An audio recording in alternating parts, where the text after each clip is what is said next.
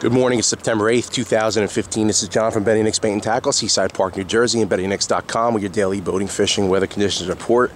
There is a huge fire over in Manchester right now, and you can see the smoke, the smoke line.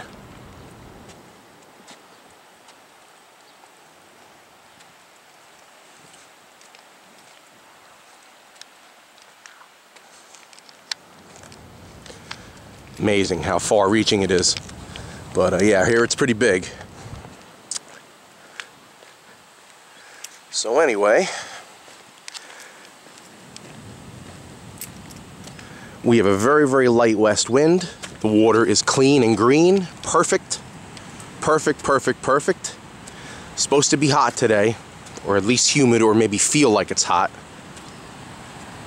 We shall see.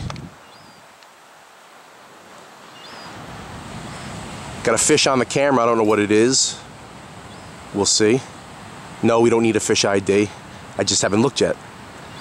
But other than that, mullet run is underway. We have tons of fresh mullet. Uh, I mean, unless we get some, uh, you know, heavy weather, some storms or whatever, we will continue to have fresh mullet the entire month. I don't see why not. We have over 400 dozen in stock right now. Uh, the town was mobbed yesterday, and I knew this was going to happen. I mean, today it's just empty. All the rats leaving the ship. So, uh, so don't worry about any crowds today if you want to come down and go fishing. That's about it.